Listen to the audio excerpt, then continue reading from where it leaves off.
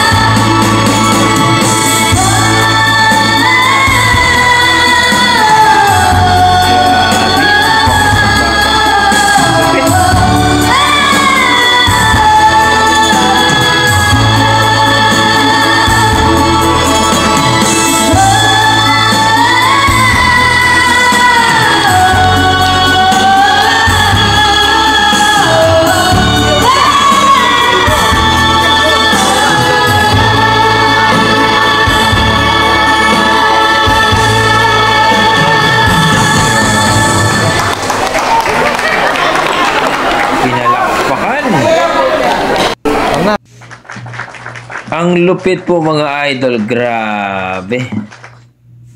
Yun po mga idol, nakita natin ang kumanta po ng To Love You More by Celine Dion. Isang bata na I think nasa mga 12 years old ata to. 12 to 10 years old. Grabe ang lupit ng berit. Ikaw ba yan, Celine Dion? Mukhang uh, alam natin mga idol na may Marcelito po umuwi na naman.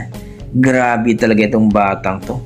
So, kung sino po nakakilala sa kanya mga idol, eh, talagang salute po tayo dito kay uh, Baby Boy na napakalupit ang uh, boses courtesy by Pilot 2903 so nag 1 million lang naman to mga idol kaya napakagaling talaga yung batang ito. Para sa akin kung i-rate ko po yung kanyang performance nasa 8 mga idol ang lupit ang lupit ng kanyang mga big rate at masasabi mo talaga na may future po ito na kung susali po ito sa mga Pilipinas Got Talent, yung mga showtime, tanghalan, ay maari pong manalo.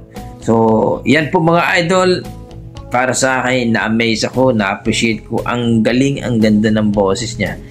No? At mataas yun. To love you more yun, Celine Dion. So, kung kayo mga idol, ano masasabi nyo dito? Talagang uh, na-appreciate nyo ba? Nagustuhan niyo ba ang kanyang performance? Please comment down below mga idol. Huwag niyong kalimutan po talaga para pag-usapan po natin. At lahat po yan ay nababasa ko at talagang uh, eh, salamat po sa inyong lahat. So hanggang dito na ako mga idol. Basta may dugong Pinoy, malupit talaga sa kantahan yan. Maraming salamat mga idol. Ingat po kayo lagi. God bless po.